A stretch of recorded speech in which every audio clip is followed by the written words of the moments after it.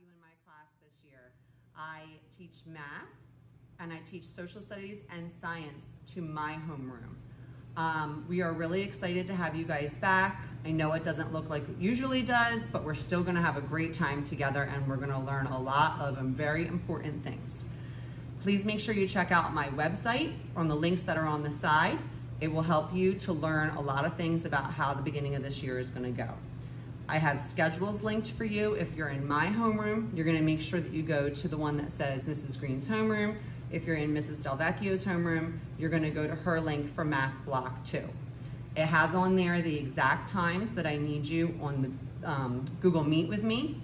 And I'm planning on having videos with you a couple of times a day, as is Mrs. Delvecchio. Your attendance is mandatory. Things are a little different than how we did it in the spring. You need to make sure that you're logging on and you need to make sure that you're ready to go to learn. So make sure you have paper and pencil near you, that you're sitting up nice and straight, that you found a quiet place to work.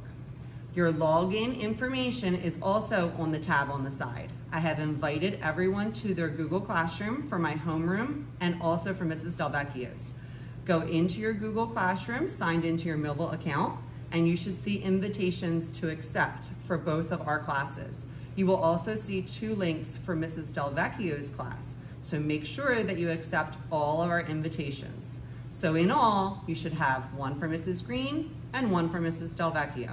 You might also see one in there for RTI and special area teachers. So make sure you're accepting your invites so that way you're ready to go. I think that's it. I'm really excited to see you on Thursday at 10 a.m.